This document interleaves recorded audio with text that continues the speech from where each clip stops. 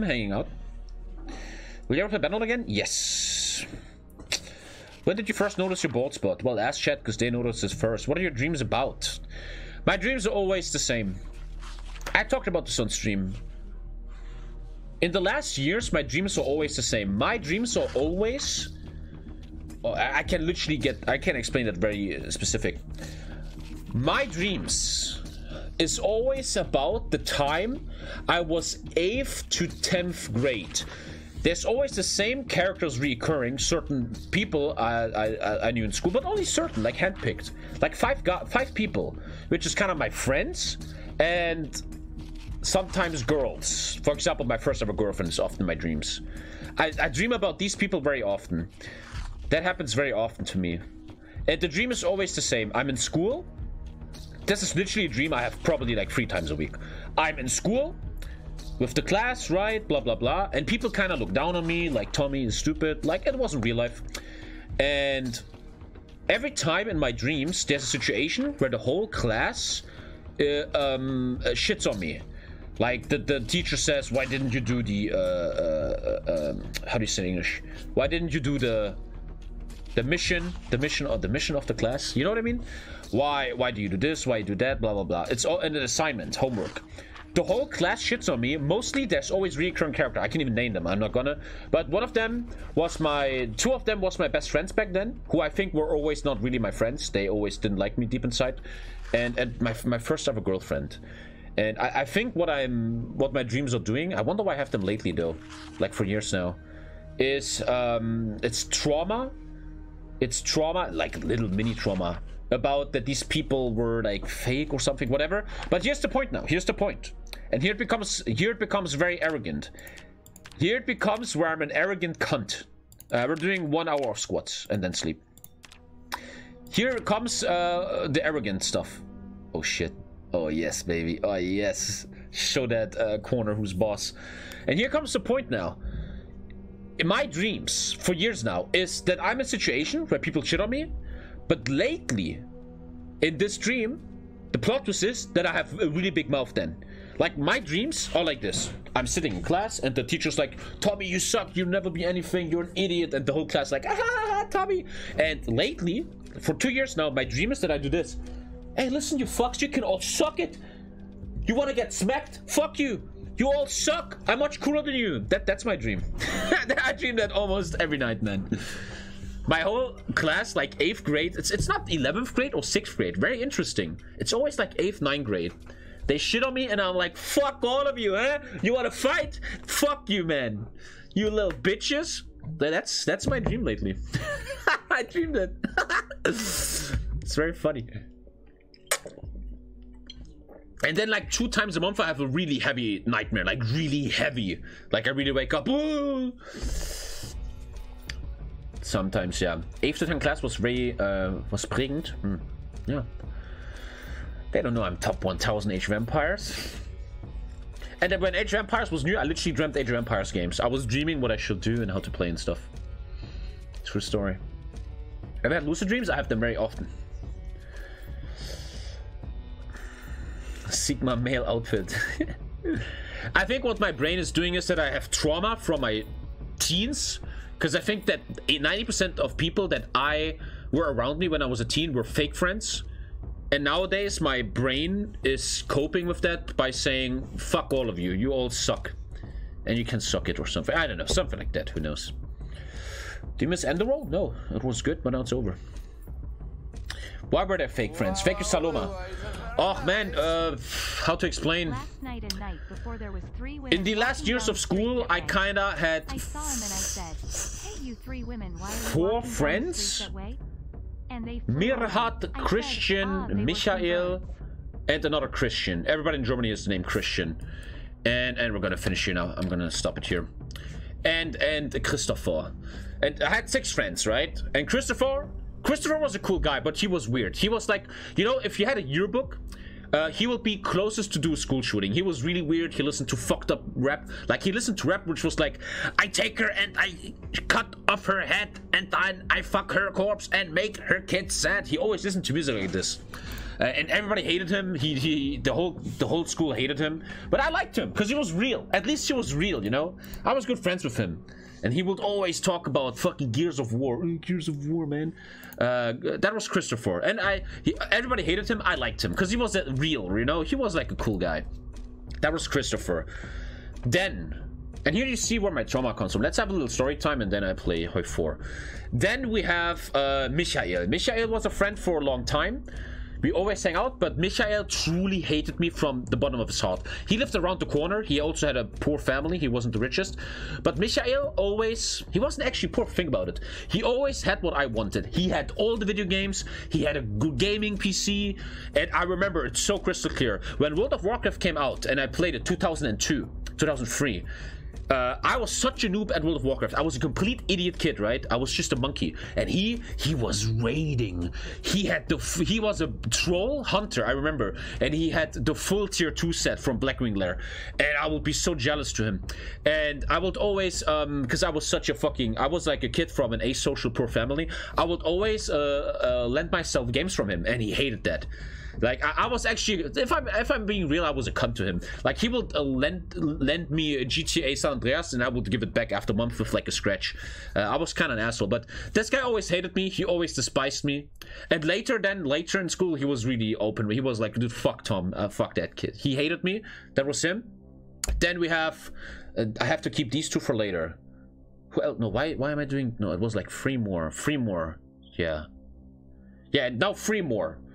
Well, there was Tony. Tony was a good friend. Tony, who's now my second editor. And Alhamdulillah, I mean this shit. I'm that serious. That's the point. I show you my six friends from back in the day, and only one of them was a real loyal boy. And that guy is now my second editor. He's making money. He's gonna make more money.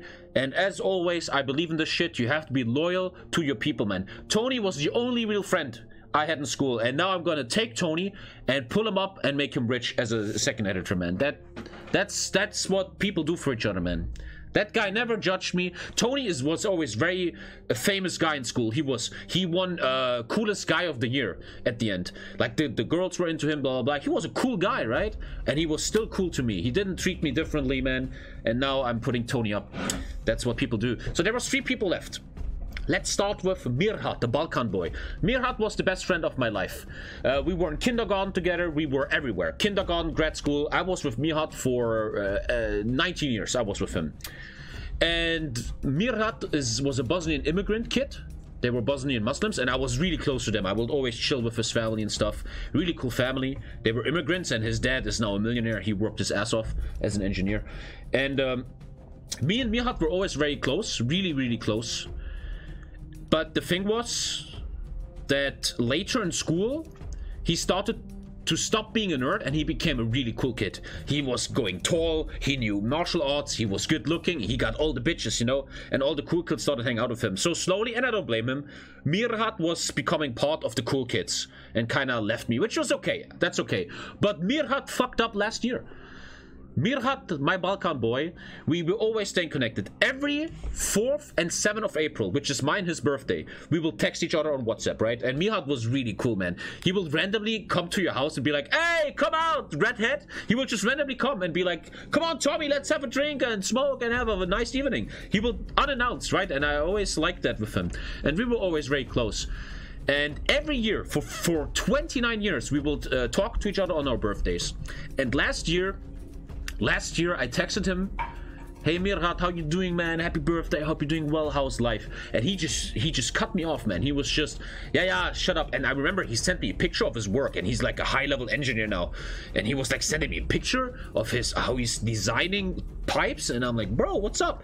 And he was, and I'm like, "Bro, we have to meet soon." And he just says, "Yes, yes." Boom, gone, man. Uh, so that was that. Uh, then two more the two Christians, man. Thank you, Bambus Affe. And these guys were really big friends for me too. And this is where all this trauma comes from. There's the two Christians. Let's start with Christian number one. One of the Christians was a metalhead. He was a metaler. I always felt me and him were really good friends. I was very close with him. We had uh, 4 two LAN parties, just me and him. I was very close to him. But after all these years, I realized Christian didn't like me. You know, we were very close, but I realized he was only friends with me because it was suitable to him. Like he never like I always felt with this Christian, if I would have died, he wouldn't have given a fuck. That's what I feel about him. He was always like introvert and fuck the world. He was like a metalhead, you know, Ugh, fuck everyone. And I always feel like Miota's just stressed out. Hey, you can't forget your friends, man. And I always felt like uh, if I would have died, he wouldn't have cared. Something like that. And now we get to the last one, the, the, the worst of all. But I don't dream about him. I know you're watching this maybe, Christian, but I'm not dreaming about you. And then there was the last Christian. Christian was a punk. He was like emo punk, right? The girls were into him. He always had colored hair. He was he was listening to punk rock. His parents were very rich. I remember his parents were ultra rich, man. And he was this punk guy. And I would always be very good friends with him. And the, the thing with me and this guy were we were always one month friends, and then one month hated each other. And it was uh, looking back, it was so childish, man. I remember we would be the greatest friends, doing everything together, and then we play Dota 2, and I do a mistake in Dota 2, and then he wouldn't talk to me for one month. And and now I'm adult enough to see what a fucking idiot he was. Like, I would not gank the right way, and he was just fuck you, Tom. I'm not talking to you for a month, and and he was a big cunt. Like I remember, I remember a story. It was in 10th, 11th class. I told him something very private. I'm not telling you what it was. I told him something very private, right? And I'm going to class, right? And then the girl, the the number one bully girl, you know the girl, the girl that is like, I'm so cool. All the others, are, you know that girl like a cheerleader girl, even though she looked like a trash can. Eileen was her name.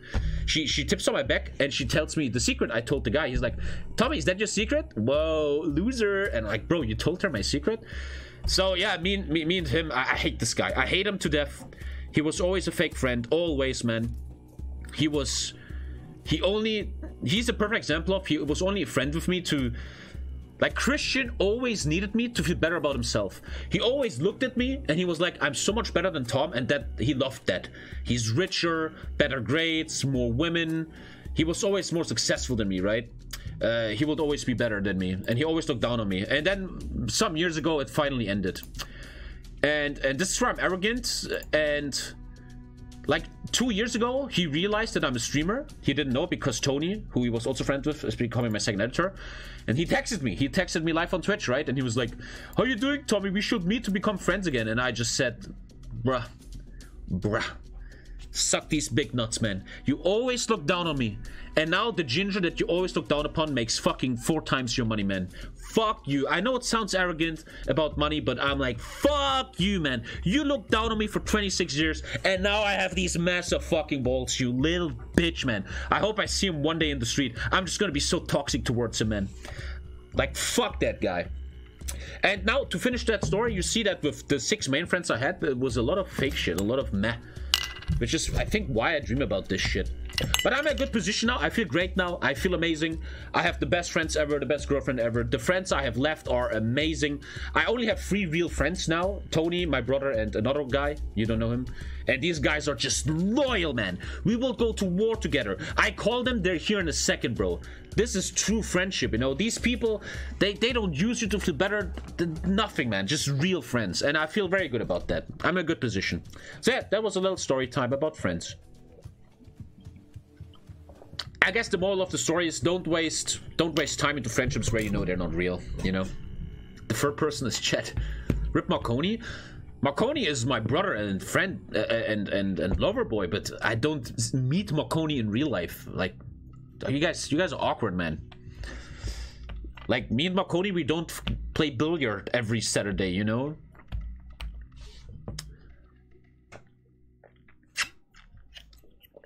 Ah. So yeah, that was that story, and I think that's why I dream about this shit. But that's annoying. I feel like, you know, I, I, if I could talk to my dreams, I'd be like, why are we doing these dreams? Like, fuck all of this. Like, what's important is that after all these years, I'm, I'm, I'm in a great position now, and they can all just suck it. Everyone can suck it. Everyone who ever looked down on me, pff, fuck it. Who cares?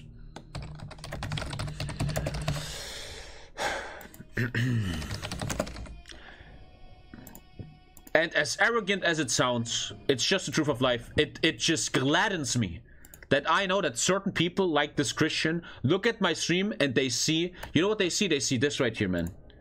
Look at that. 5,000 subs, man. And that should mean so much to me. It's toxic, but it's the truth. The people that look down on me, They click on this shit, they Google my name, and they see a 5,000 sub streamer, man, with massive bolts all across their fucking forehead. And they can all fuck themselves, bro. Anyway, let's go back. Uh, let's check which achievement we do. We could do um, a big campaign, or we just get the Lithuania achievement real quick. For example, right, uh, Tony made the second channel, Tommy K Wipe. Like, let me tell you, let me show you who Christian is, man. That little bitch. Uh, we have a second YouTube channel, right? Thank you, uh, Crolan, called Tommy K Wipe. And Tony is my editor there. Tony uh, has always been a good friend of Christian. And Christian dislikes every single video because he thinks it's funny. Every single video on Tommy K Wipe, which Tony works on, he dislikes that because that is his humor, man. Just a little cunt boy, man. Hope I see him on the street one day. anyway. Anyway, anyway.